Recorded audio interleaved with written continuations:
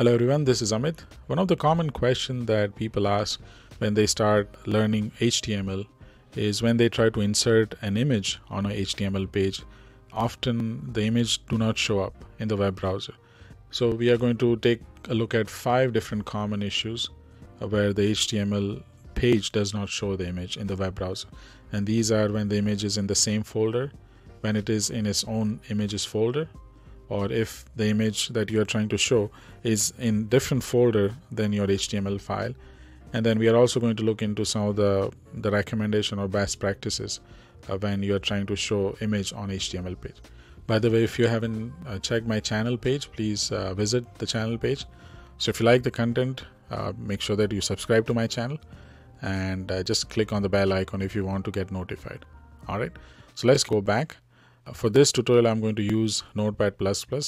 Again, I have many, many videos on my channel page uh, about learning Notepad++, so make sure you check that out. By the way, I'm also going to share uh, the folders and the files and the image that I'm going to show in this tutorial.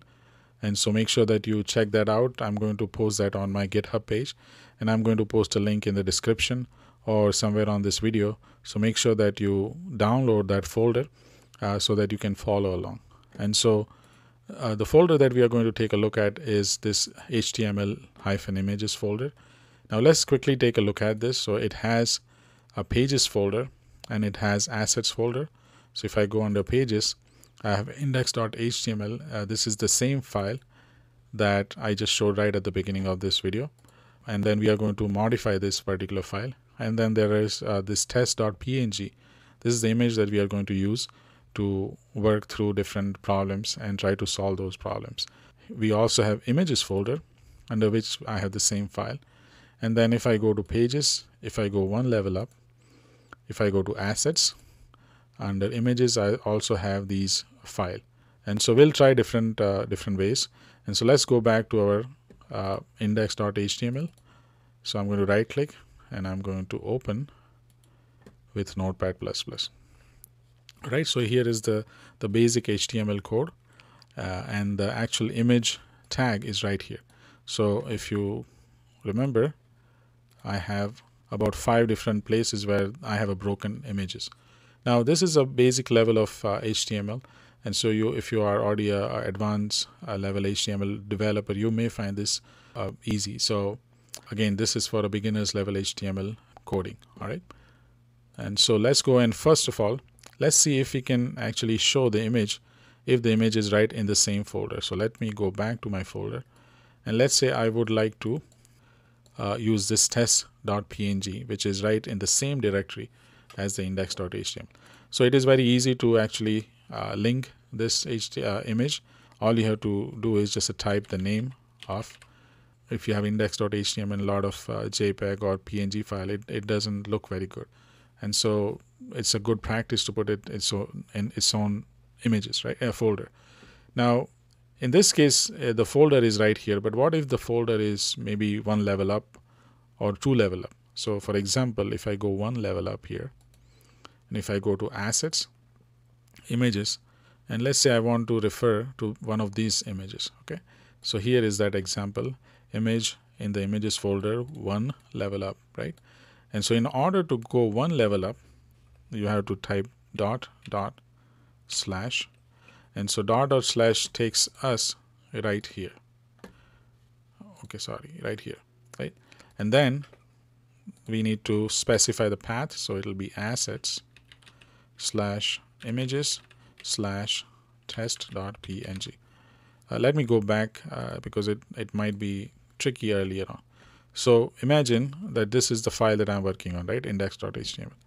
And if I want to go to the one level up assets, images, and test.png. So here I'm going to go one level up by going here. Uh, and that is signified by dot dot slash. And then I'm going to go to assets, images, and test.png. Uh, let me change the the case for this because that will come a little later okay so yeah this is the file that I'm trying to refer to. And so that's what this dot dot means. Dot dot means go one level up go into assets go into images and go to test.png so let's save and let's go here and refresh. Okay so you can see it is showing up right here and it looks good. So I'm right clicking and going to inspect. And if I hover I should be able to see assets images and uh, that, that folder so if I hover here you can see it's under assets images and test.png okay? Now so far we looked into different path. Now uh, in our case we only had to go one level up right uh, from here. It is possible that your your file that you are or html file that you are editing may be quite buried you know it's like two or three level up. So in all all those cases every time you want to go one level up you just have to type dot dot slash right and so this means that go two level up and then find asset folder and so on so in our case, we don't need to do that. It's just one level up. All right. So the next part uh, that are more sort of recommendations or best practices is try to avoid spaces in HTML uh, image name uh, because that can cause issues. So for example, if I have, let's say, I'm going to copy this path. And if I go to that folder, I have test 2 test underscore 2 let me put a test space 2 right? And so instead of test dot png test space 2 now this may work because uh, many web browser can handle some of these spaces. But it, it, when you put this uh, html file on the web server if it depending upon what kind of server it is this may or may not work and so it is a best practice to avoid any spaces in the file name so just to show let me refresh. And you can see it it did show up and if I right click and do inspect you will see it's it's referring to test space 2 but in a best case uh, I would avoid any spaces. So if you do want to have a longer file name you can use underscore or hyphen. So underscore or or you can do hyphen right? And so let's do underscore. I'm going to save. If I ref refresh it should break right?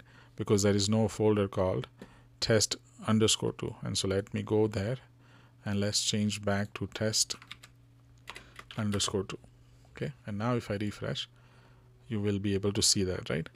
The other thing that that is also one of the uh, a good practice is to avoid a different cases when you refer to the image name. And so for example if I'm referring to this same file but if I change the cases right uh, it's all in uh, in caps or uppercase and let's refresh it.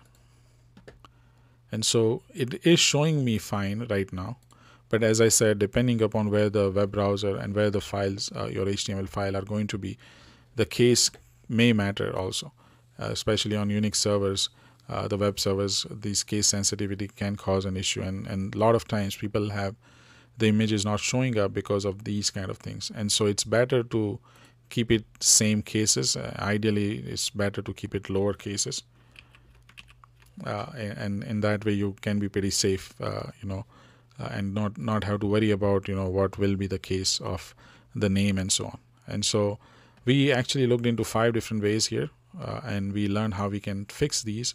If I refresh it, this was the older page. So if I refresh it, it should show up all the images, right?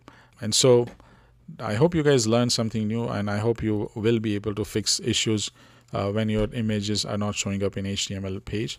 Uh, if I missed any cases or if any other you know problems, uh, please uh, just uh, comment in the comment section below, and I'll try to answer you individually. And, and, and if you have enough content, I may make another video about it as well.